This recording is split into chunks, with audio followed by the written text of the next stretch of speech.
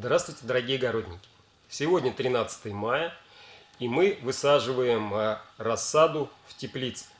Это вот первая рассада, первая теплица, которая уже фактически полностью высажена. Осталось высадить а, последний кустик, я его специально оставил, чтобы вот буквально заснять а, видео и сказать, что я кладу иногда в лунки и что именно положу в данный момент. Почему именно в данный момент? Потому что сейчас э, все равно на улице еще холодная погода, и грунт еще не совсем прогрелся. И нам надо это дело как-то исправлять, чтобы у нас рассада хорошо приживалась. Для этого что мы сделали? Во-первых, э, мы заранее накопали ямки. То есть это дает попадание теплого воздуха, потому что солнышко было, за два дня до высадки мы уже накопали ямок – и э, как бы у нас земля прогревалась на определенной глубине. Это раз. Потому что проливать э, кипятком, если маленькая теплица, можно ямки пролить кипятком, если еще не, сырая, не сырой грунт. Но у нас в этой теплице, например, грунт очень сырой. Вот он прямо, вот еще влаги в нем очень много. Поэтому даже полива никакого я делать не буду. То есть, если грунт сухой, то понятно, что при высадке мы обязательно поливаем и так далее. Что я еще сделал? Я в каждую лунку положил немножко буквально вермикулита. Вот в этой лунке вы можете посмотреть, он есть. Что нам дает вермикулит? Вермикулит дает следующее. Во-первых, он э, дает благоприятный рост корням за счет того, что в нем есть э, кремний, который со временем становится немножко доступный для корневой системы. А кремний еще чем хорош, то есть, э, понятно, вроде в земле его он может тоже быть, но здесь мы его буквально как бы увеличиваем содержание. Он еще хорош тем, что он делает более доступным фосфор. А нам сейчас как раз вот э, э, наличие фосфора у корней очень-очень важно, потому что в холодную погоду, при холодных грунтах, мы знаем, что хуже всего начинает усваиваться фосфор. А в самом начале после высадки даже специальные подкормки мы можем будем и будем все скорее делать вот именно с увеличенным содержанием фосфора, чтобы у нас хорошее цветение, было первые кисти, чтобы хорошо завязались у нас томаты. Что еще я делаю? Я еще немножко, буквально, вот полбаночки чуть-чуть, вот такой маленькой, кладу сюда биогумуса, вот на лунку, буквально чуть-чуть, ну, наверное, 2-3 э, столовых ложки. Почему я делаю вот сейчас именно в лунку? Потому что по осени в этой теплице я не вносил никакой органики. То есть э, за два года до этого сюда было внесено достаточно большое количество перепревшего компоста.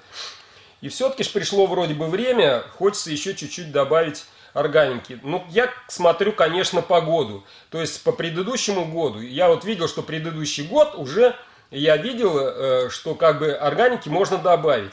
Потому что когда у нас, э, например, если бы у меня в предыдущем году я видел хоть чуть-чуть жирование томатов, то это говорит о том, если мы при этом вносим органику, то органики уже вносить не надо. То есть азота достаточно, и, иначе если мы внесем даже биогумус или еще что-то, у нас однозначно томаты будут жировать. А этого нам не надо допускать.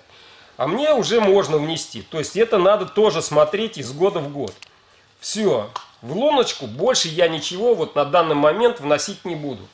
И я немножко, конечно, это все мешаю. То есть биогумус с вермикулитом у меня тут мешается. И теперь глубина заделки. То есть ямка у меня уже здесь более-менее прогретой, потому что она стояла больше, э, около двух суток. То есть от солнышка прогрелась. Грунт, конечно, все равно прохладный, но не ледяной. И это меня э, сильно радует. Что я делаю? То есть я как бы горшок э, примерно как бы сажу. Мне что надо? Чтобы вот буквально верх горшочка был поверху вот основной грядки. Вот так вот. Все, глубже не надо. А у меня я ямки вижу гораздо глубже. То есть я ее, конечно, присыпаю. Опять там мешаю немножко грунт. Вот, вот все я поставил. Все, теперь у меня вот уже на такой высоте будет все нормально.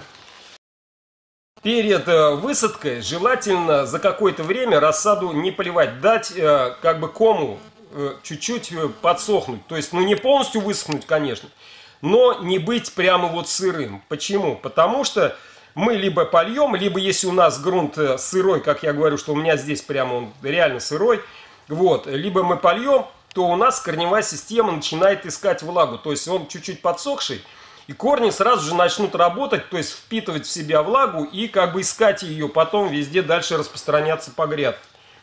Если на рассаде есть пасынки, а у меня на рассаде на многих кустах уже были прям громадные пасынки выросли. Ну, потому что сама рассада, можете посмотреть, она очень коренастая. Когда рассада коренастая, пасынки растут активно. То есть солнца было много, и вместе с основным кустом растут пасынки. Понятно, что их надо удалить. Понятно, что мы удаляем тоже семидольные листья есть. есть.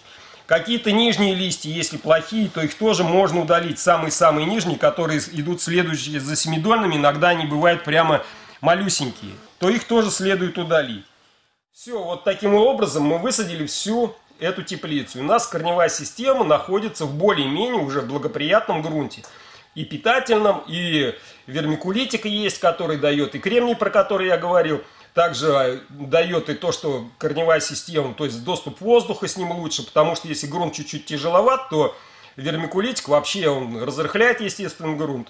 Хуже от него точно не будет. Понятно, что если много, очень много кустов, то это дорогое удовольствие, но когда кустов немного в теплице, то в принципе это недорого и любой огородник может себе это позволить. Конечно, прежде чем приступать вообще к высадке рассады в теплице, в теплице проводятся уже предварительные работы. Что делается? Это обязательно мы навязываем заранее подвязки, чтобы не подвязывать их вот сейчас, после того, как высажены, а уже они все были заранее подвязаны. Мы делаем, как бы стараемся делать все по операциям. Сразу навязали подвязки на всю теплицу, на всю теплицу накопали ямок, то есть уже по разметкам, где точно должны быть ямки. У меня, естественно, есть чертеж теплицы, если в теплице не один сорт – то на этом чертеже буквально есть, где каждый сорт растет. Вот я точно знал, что у меня вот здесь вот будет расти именно этот сорт, вот в этой ямочке. В следующий у меня будет расти другой сорт. И это все на чертеже. Конечно, по этому чертежу мы быстро расставляем в выкопанные ямки, расставляем уже всю рассаду. Сначала ее разносим по всей теплице, проверяем чертеж, если, чтобы все совпадало, чтобы никакой путаницы не было. И потом уже поэтапно начинаем высаживать рассаду. Высадили, это уже следующая операция. И последняя операция обязательно прошлись, подвязали. Также после того, как высадили рассаду, вот натягивается сначала еще дополнительно вот это вот поперечное, будем говорить, вдоль, вернее вдоль грядок идущие, идущий шпагат. Именно к нему вот последнее время я таким образом только делаю. К нему никаких колышков, ничего, а к нему уже вяжем подвязки. Подвязку вяжем просто простой петелькой, вот такое все. Потому что за нее мы должны потом все развязать, потянули, и вот у нас как бы все, естественно, быстро развязывается. А в эту сторону, как бы мы ни тянули, у нас ничего, естественно, не развязывается. И по часовой стрелочке, если рассада очень низкая, оборотик. Если вытянутый, то 2-3 оборотика уже сделали.